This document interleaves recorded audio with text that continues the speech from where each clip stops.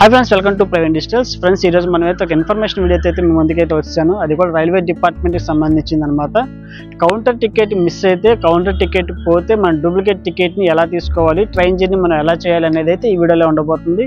Video చిన్నదే ఉంటుంది కానీ ఇన్ఫర్మేషన్ మాత్రం చాలా పెద్దగా ఉండబోతుంది. తప్పకుండా ఎవరైనా కొత్తగా నా ఛానల్ చూస్తే తప్పకుండా సబ్స్క్రైబ్ చేయండి. నన్ను అయితే ఎంకరేజ్ చేయండి. ఇక వీడియోలోకి వెళ్దామా?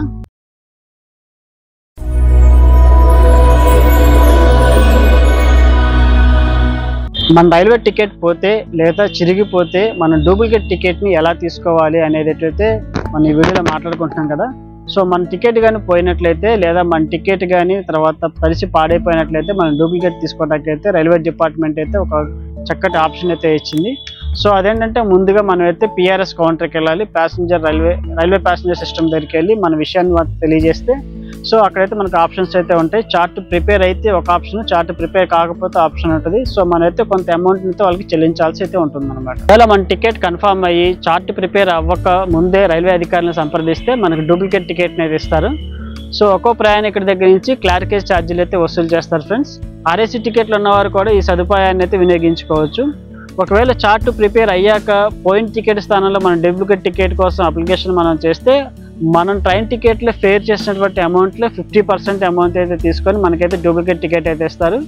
సో ఇదైతే ఆర్ఎస్సీ టికెట్ వరకైతే ఈ సదుపాయానికి అయితే వర్తించదనమాట ఒకవేళ చార్ట్ ప్రిపేర్ అయ్యాక టికెట్ చిరిగితే టికెట్ స్థానంలో డూప్లికేట్ టికెట్ కోసం ఆర్ఎస్సీ వాళ్ళు అయితే కొత్త అప్లికేషన్ అయితే పెట్టుకోవచ్చు. ఇందు నిమిత్తం అయితే మనం ట్రైన్ టికెట్లోంచి ట్వంటీ ఫైవ్ పర్సెంట్ అయితే మనం వారికి అయితే చెల్లించాల్సి ఉంటుంది.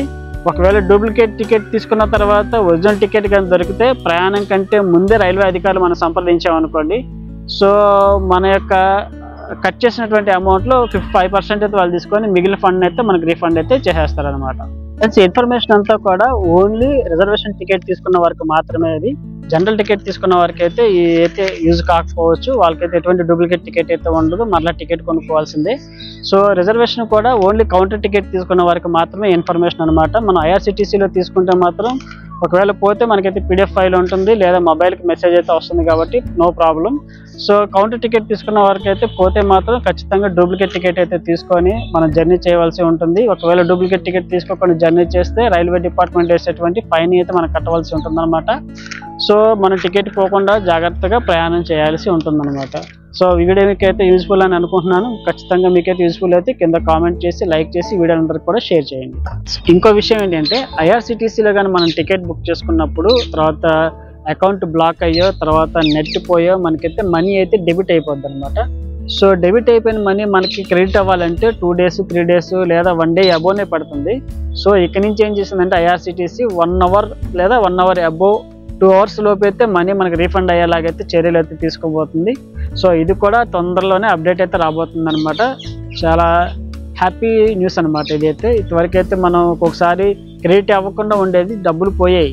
సో ఇప్పుడైతే ఆ విధంగా లేకుండా వన్ అవర్ టూ అవర్స్లోనే మన అకౌంట్స్లోకి అయితే మనీ అయితే క్రియేట్ అయిపోతుంది అనమాట ఫ్రెండ్స్ చూసారు కదా ఈ వీడియో కనుక మీకు నచ్చితే ఖచ్చితంగా లైక్ చేసి షేర్ చేయండి. ఇలాంటి ఇన్ఫర్మేషన్ వీడియోల కోసం నా ఛానల్ తప్పకుండా సబ్స్క్రైబ్ చేయండి.